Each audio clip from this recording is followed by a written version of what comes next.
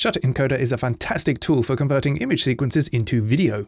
There are numerous benefits to rendering out image sequences from Blender, but shareability isn't one of them. Now you can convert an image sequence to video in Blender, but it's a bit fiddly, so here's how to do it in Shutter Encoder. First of all, we're going to choose a function, going down to h.264, and then image sequence, and I'm going to activate image sequence and just go to 24 frames a second. And now we can save this function, control S. I'm going to call it image to MP4 and save.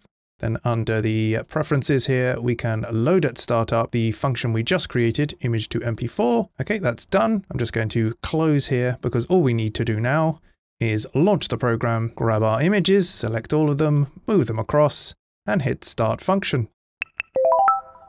And it's done, and there's our video.